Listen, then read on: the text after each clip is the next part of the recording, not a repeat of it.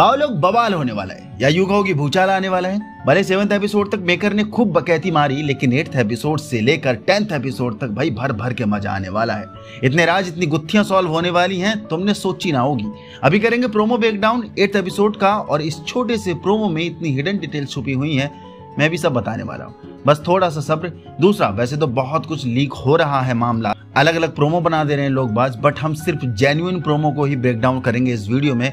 बाकी leak material and rumour की बात नेक्स्ट वीडियो में करेंगे किसी सेपरेट में। एंड बाबा सपोर्ट में कमी नहीं होनी चाहिए। कीप इन माइंड तो बाबा फातिमा ने गलती से टिली को तो मार दिया है, जो बहुत सरप्राइजिंग एंड अनएक्सपेक्टेड इवेंट था। और मज़ा भी आया इस ट्विस्ट में। लेकिन बाबू, पूरी कहानी ट्विस्ट होने वाली है इस छोटे से इंसिडेंट के बाद, जहाँ प्रोमो के फ़र्स्ट सीन में हमने देखा है एलिस फातिमा को छुपते छुपाते टाउन से दूर ले आया है।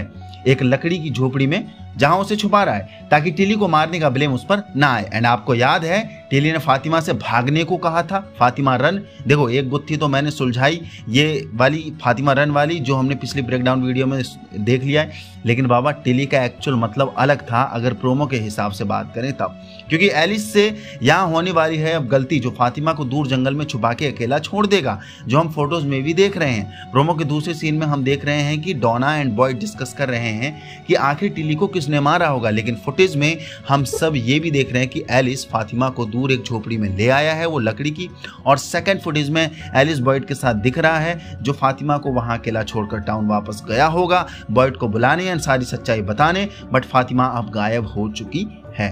और प्रोमो के तीसरे सीन में हम देख रहे हैं एलजिन एकदम सरप्राइज़ हो रहा है, और वो भाई ऐसे, जैसे कि इसे सब कुछ पता हो।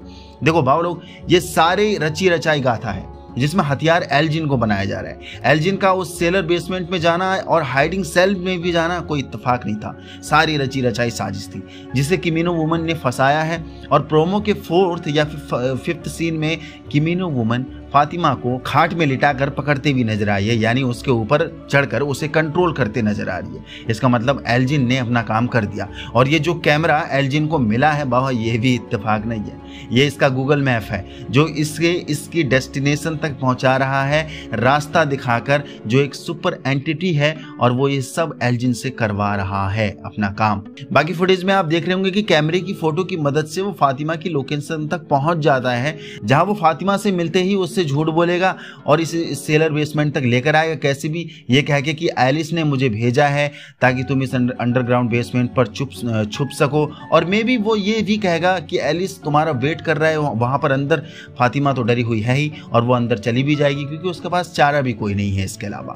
तो बहुत कुछ है एपिसोड एट में।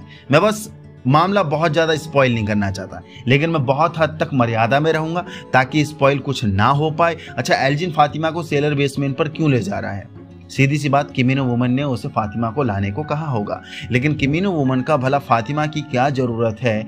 अब इससे आगे मैं कुछ नहीं बताने वाला हूँ, या फिर कुछ नहीं बोलूँगा। जो मेरे रेगुलर व्यूअर हैं, तुम्हें मालूम है, लगाओ थोड़ा दिमाग, करो कनेक्शन सेट कि फातिमा से आखिर किमिनो वुमन को लेना क्या होगा? मतलब चाहिए क्या आखिर उसे? बताओ बताओ। बाकी मैं इस टॉपिक पर थोड़ा और डिटेल में next theory and story prediction वाली वीडियो में बात करूँगा कि आखिर किमेनो वुमेन को फातिमा से क्या चाहिए होगा। बाकी नेक्स्ट सीन में हमें जूली एंड ईथन एक साथ डंजन प्लेस में दिखते हैं, यानी उस प्लेस के बाहर, जहाँ पिछले एपिसोड में जूली रेंडल के साथ दिख रही थी। और जूली के साथ ईदन उस प्लेस के अंदर तक जाने की भी बात कह रहा है प्रोमो में। तो बाबा, अब थोड़ा र्यूमर्स की भी बात मान लेते हैं। देखो, कहा जा रहा है कि जूली अंदर चली जाएगी, लेकिन अंदर जाते ही ईथन उससे अलग हो जाएगा या फिर खो जाएगा। और जूली को अंदर कुछ ऐसा सरप्राइजिंग मिलने वाला है जो उसने सोचा तक नहीं होगा। चलो, मैं क्लियर क्लियर नहीं बताऊँगा हिंट देकर बताऊँगा जिस जिसे समझ आएगा बढ़िया है, जिसे समझ नहीं आएगा बाबा एट्थ एपिसोड में देख लेना। पिछले सीज़न टू यानी बॉयड को इसी डंजन प्लेस के अंदर आकर कुछ ऐसा दिखता है जिन्हें वो आज़ाद भी करता है। बस आप समझ जाओ अब कि जूली को कौन मिलने वाला है या कौन दिखने वाला है। बाकी थोड़ा एलजिन एंड फातिमा का पार्ट लिटिल बिट स्पॉइल हो गया है। बाकी अभी लगाते हैं विराम क्योंकि प्रोमो के हिसाब से इतनी ही बातें सुटेबल हैं इस वीडियो के लिए। बाकी नेक्स्ट वीडियो होगी थ्योरी एंड स्टोरी प्रिडिक्शन पर, जहाँ कोई मर्यादा का पालन नहीं करा जाएगा। जहाँ तक हाथ फैला, हाथ पाँव फैलेंगे, फैला सकेंगे, फैलाएँगे। इसी के साथ साथ बहुत कुछ र्यूमर्स एंड लीक्ड मटेरियल की मदद से story predict and mystery decode करने की भी कोशिश करेंगे। देंगे बाबा लोग फ़िलहाल वीडियो कैसी लगी, नीचे कमेंट बॉक्स में ज़रूर बता के जाना। आपकी तरफ़ से और क्या डाउट्स हैं, और क्या गुत्थियाँ हैं, वो भी ज़रूर मेरे साथ शेयर करके जाना, बता के जाना कि ऐसा कुछ क्या है जिस पे हम बातें कर सकते हैं। ज़रूर बता के जाना। बाकी आप सब लोग YouTube के अलावा Instagram पर भी मुझसे मिल सकते हैं, और मेरे टेलीग्राम चैनल को भी ज्वाइन कर सकते हैं, जहाँ पर मैं बहुत कुछ मटेरियल अपलोड करते रहता हूँ।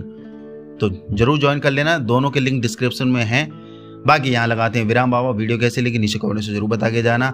आपकी तरफ़ से और क्या गुत्थियाँ हैं वो भी ज़रूर बता के जाना, उस पर अलग से बात कर लेंगे। कुछ र्यूमर्स आपकी तरफ़ से आए हैं सुनने में तो वो भी ज़रूर बता के जाना।